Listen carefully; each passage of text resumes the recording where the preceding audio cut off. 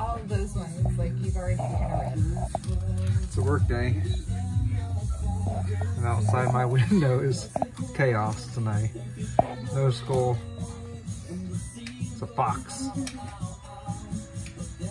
We're all still trying to figure out what the fox is. Yep.